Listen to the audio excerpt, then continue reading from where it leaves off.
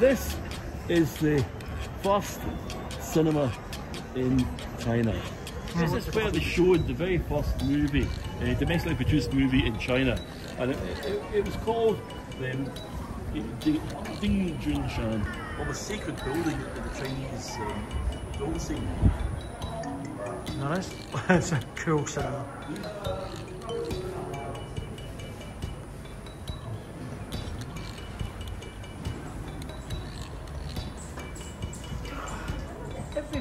Got something unique, something different.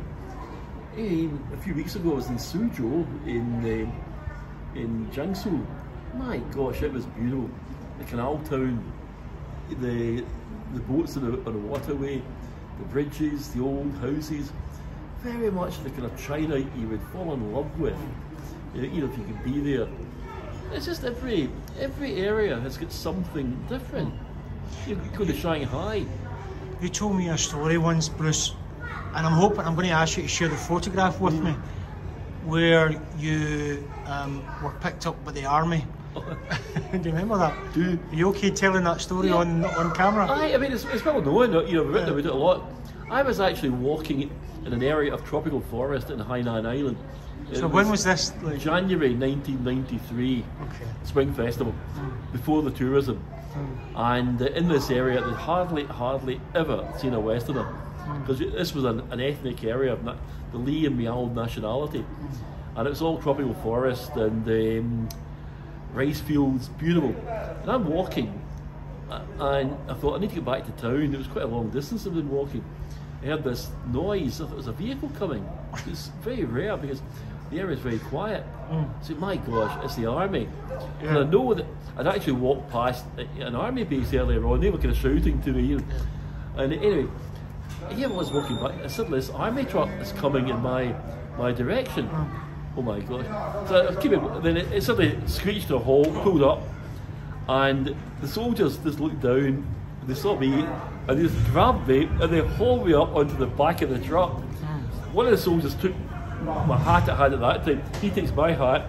He gives me the army hat to put on. You know, everyone's laughing and joking. What the photographs taken? Well, you know, cuddling each other on the truck. We drive right into town, and um, it was it was really brilliant.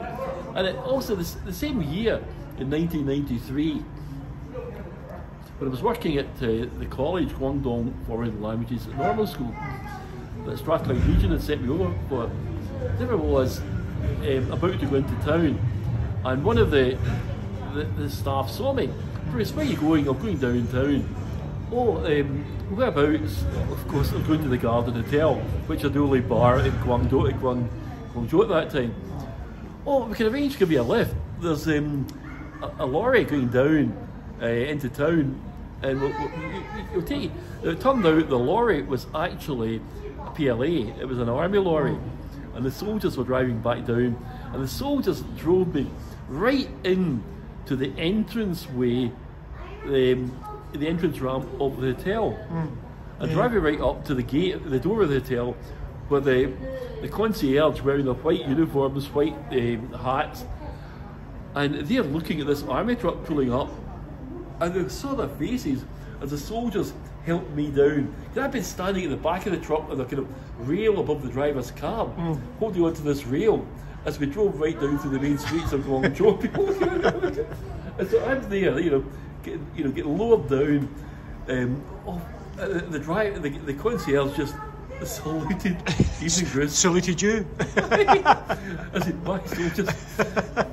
but these are things that happen to you, in, you know, in China. It, um, you just, you just think every day there's something different happening. Every day you, you have a different experience, and you just laugh, you know, and, and go through with it all. And um, what's next? how, how do you? Because I've seen some of your photographs. How do you take? I mean, you've got some fantastic photographs of local people uh, going back 20, 30 years. What was the reaction like back then when you were taking these photographs and, and local people must have think or must have thought, who who on earth is this foreigner? You know, Marco Polo guy. Well, you were getting sometimes people wondering why does he want to take photographs of ordinary people? Right? Why? Because when you go back to Scotland, you were giving talks to the Geographical Society, for example, and you were talking about um, you know everyday life in China. So you're photographing people in the market areas. You're photographing traders, craftsmen, the ordinary people. You see, this is you know this like the ordinary people, with everyday life in China. But also in what, of course, I was doing, which I didn't quite realise at the time, was it was creating an historic document. Because the China that I was filming is now only found like in a museum, and um, the China then it's not altogether gone. You still go to areas in China, but you still find a lot of the traditional. But in a city like Beijing, you know, you go up to an area like Sanlitun, and it's all gone. You know, it's 21st, 22nd century um, modern world, and it's all people with smartphones, um, you know, expensive clothes, hairdos, you know, all, all the things. And so it's, it's a very different world now. And here we get a coffee served here. This is lovely. Yes, yeah, thank you. this.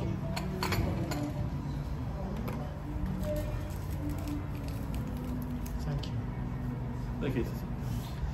But and also, I think it's quite important when you are doing the photography that you're not just photographing buildings, you're not just photographing the modern architecture, but you're, you're creating a human feeling to the place. And, you know, for example, I'm doing quite a lot of hotel photography just now.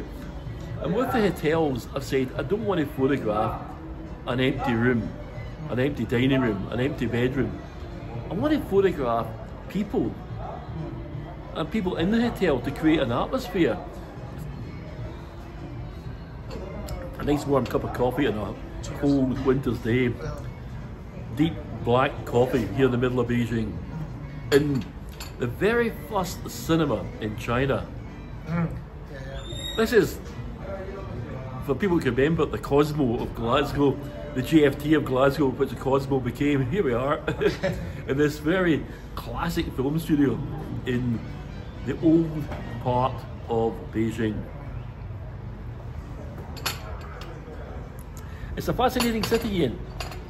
Very fascinating city. When you and with Beijing, I've actually got to know it by what we're doing today, by walking. And often all I do is I'll, I do a little bit of walking, then I sit down. Like you've got the photographs of me sitting on a bench or a seat. Well, that's, del- that's deliberate. Because I sit there on a bench and I look, and I'm looking at the scene of what's happening, what's passing in front of me. What are people doing? What you know, what's the reaction? And quite often people see you and they come up and they'll start talking to you. And they're fascinated where you're from, what you're doing. Great being a couple of, uh, this day, a few days ago, on uh, Friday, I was sitting beside the Haihe River in Tianjin. I was trying to photograph the Mongolian seagulls that have come back, that migrated down from the northern Russia. And I'm trying to, and here's the, the what you call what you- environmental women, sanitation, but you know, it's the cleaner, this you know, woman that cleans all the this part. And she just come over, fascinated. What was I photographing? Hmm. Well, you know, and she sees this scene every day. Why is this, you know, foreigner? Why is he fascinated with photographing? I'm, I'm trying to show her, you know, these birds, the gulls, photographs. She was fascinated that you could see something very interesting that she sees in an everyday scene. Yeah. And, uh, you know, and this is what I'm finding people now are looking at the photographs and they're realizing that this is a very special archive on the progress of China over what will be very soon 35 years. And if you can imagine Beijing 35 years ago, it was a very, very interesting city, but very, very different. So you were actually taking photographs way back 30, 35 years ago. So not nearly enough, Ian, because um, it was expensive back then, yeah. The, the film was very expensive. Film was expensive. because I had to bring it anyway from the UK. And you roll a film in 36 exposures, and you know, you 35 mil, 36 exposures. You're very careful Yeah. uh, how much you took. I wish I'd, I wish I'd digital would have taken an awful lot more. But also, it was a time factor because I was only in Beijing three days, and you're going to the Forbidden City, the Summer Palace, the Temple of Heaven, you know, all classic tourist areas, um, classic palaces. What we didn't see is the everyday city, unless you were seeing it from a bus you know, or you just happen to catch a glimpse when you're going into a restaurant. You just happen to see something, but quite often you're in a bus and you're trying to capture images of the street. Um, one time I did go out, but I went back to the hotel for lunch, and as usual, it's a long lunchtime, so I had a quick lunch, dashed outside, and photographed all around um, the Friendship Hotel in Haidian. And I'm glad I did because it's now high-tech zone, and yet you're looking at guys with bicycle carts um, carrying melons in the back. You know, and people say, "What? That's John Wan Soon." Yeah.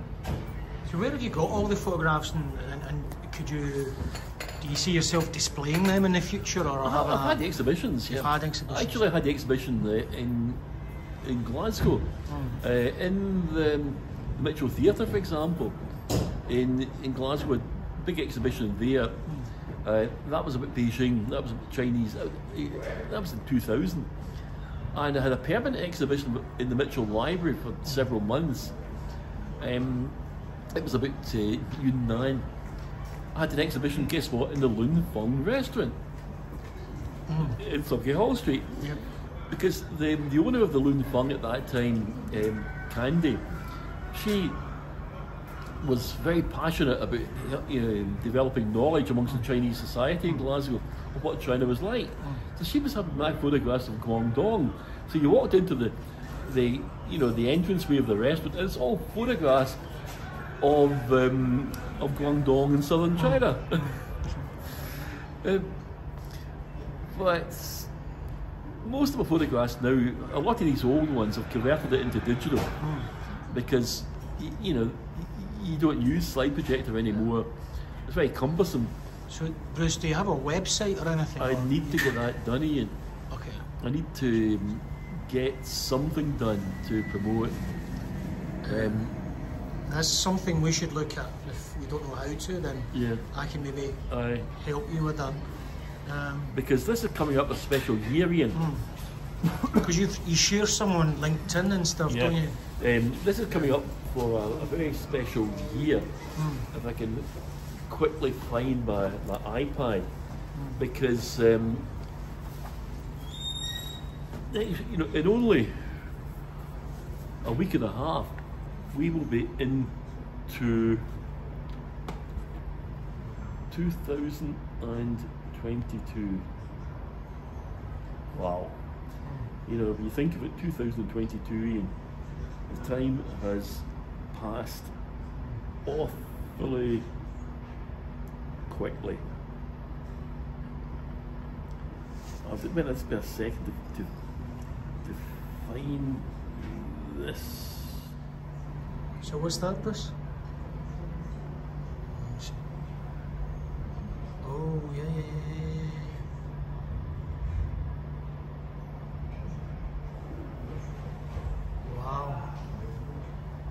So is that a book you're producing? I don't know what it is, Ian.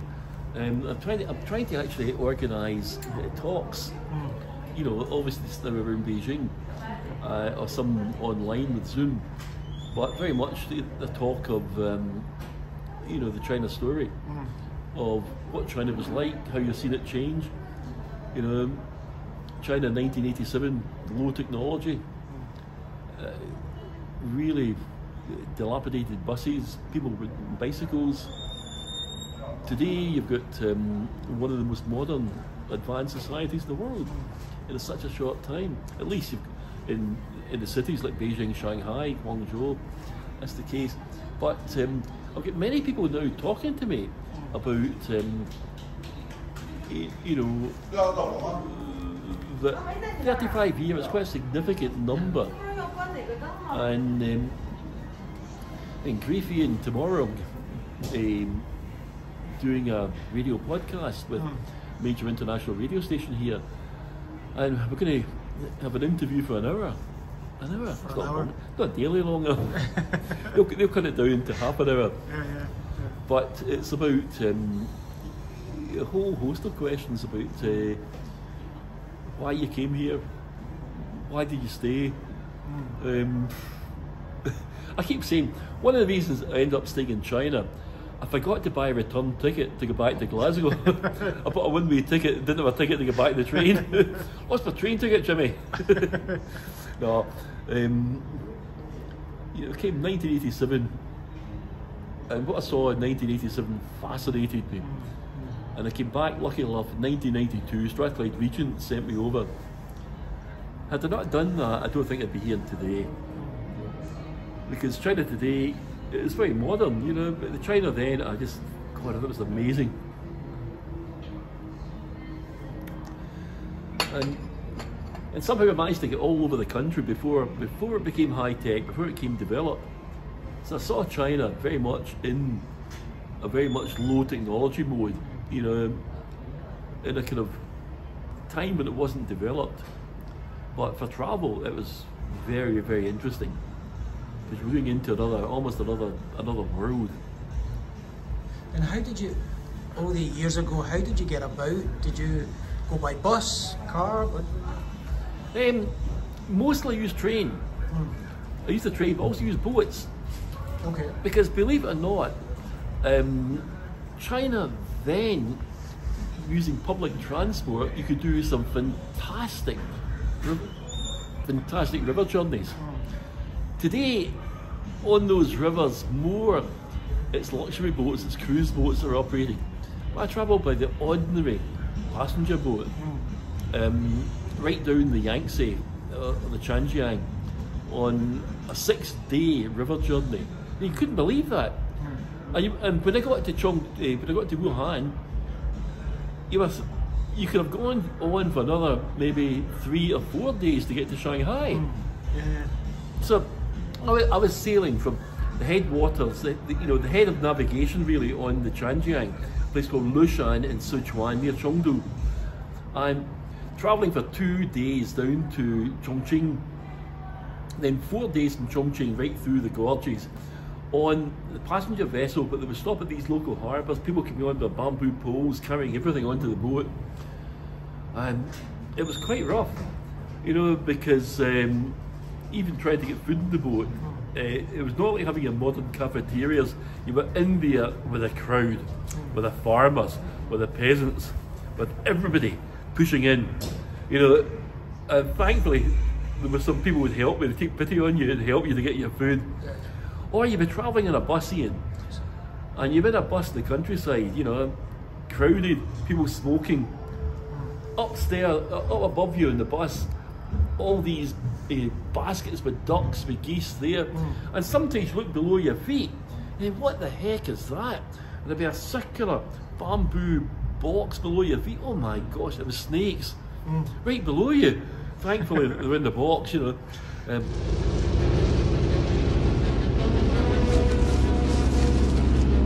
There's a big snake in the plane, Jacques! Oh, that's just my pet snake, Reggie! I hate snakes, Jacques! I hate them! Come on, show And you, if- when you're in areas like Guangxi, Guangxi was a, a major kind of breeding ground for, for snakes, which were part of the cuisine in Guangzhou, which I actually managed not to have. No, thank you. no, thank you. I'll stick to vegetables if you don't mind.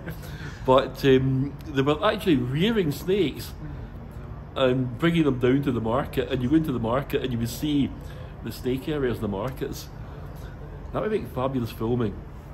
Um, I don't know if they still have it now, but I did. I did take some still photographs of uh, the markets, which um, you know, were they fascinating to walk around.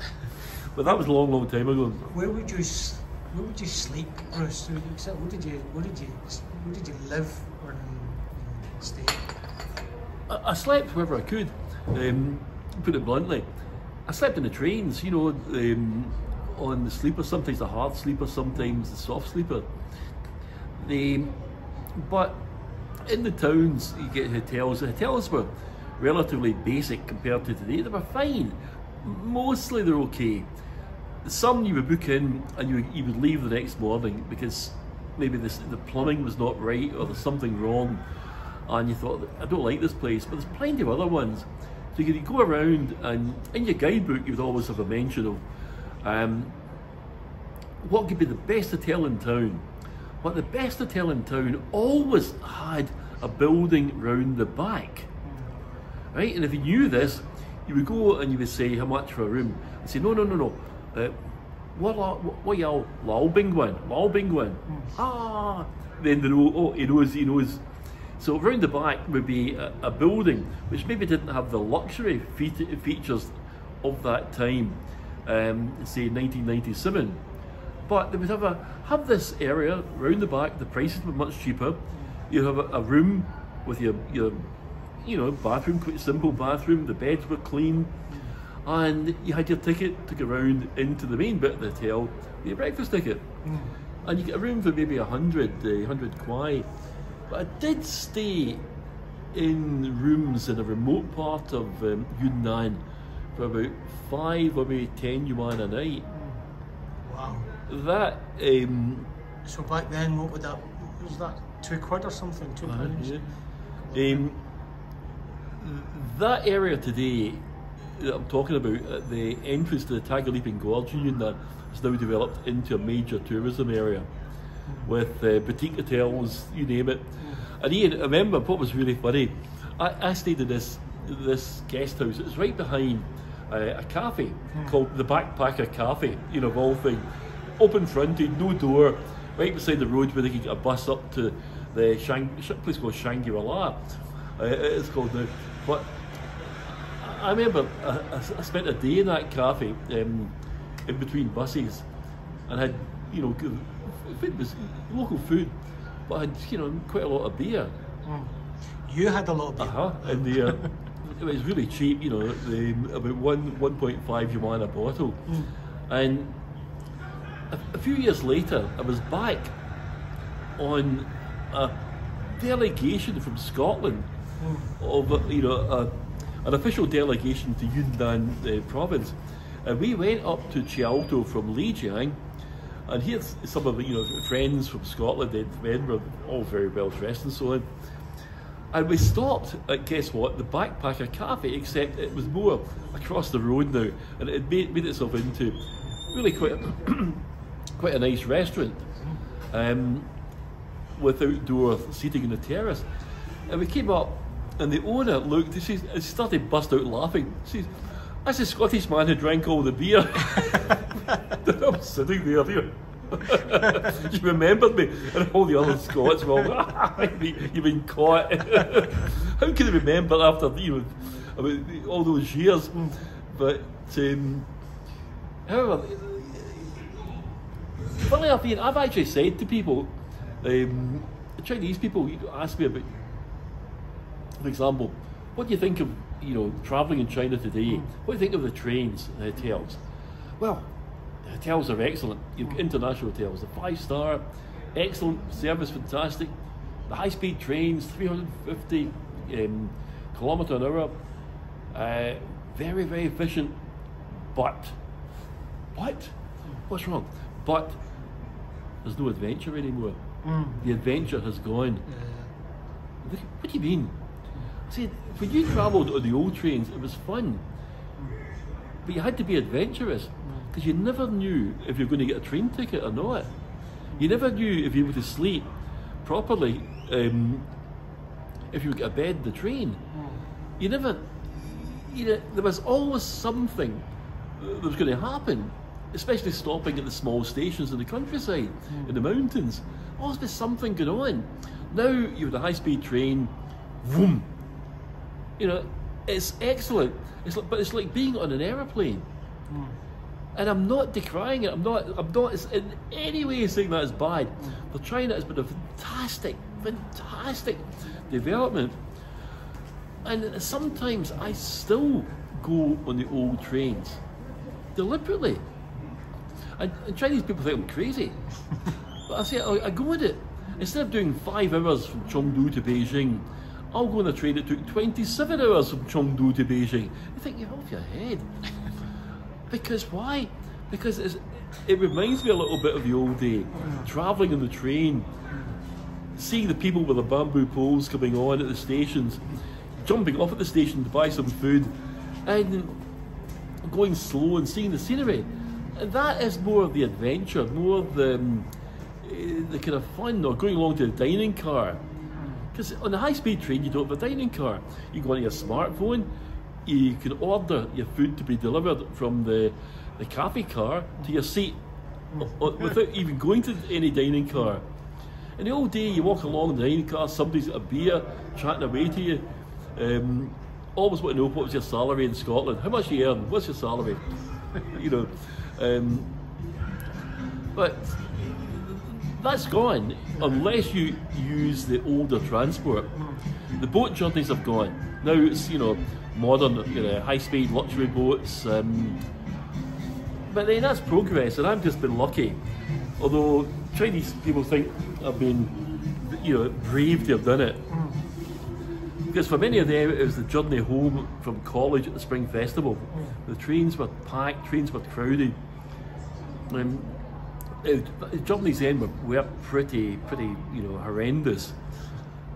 But um, compared to today, I mean, today you book your tickets online, go onto your smartphone, book your ticket, even use your, use your phone to actually check in at the railway station. You know, it's it's, it's a, an enormous change that's happened.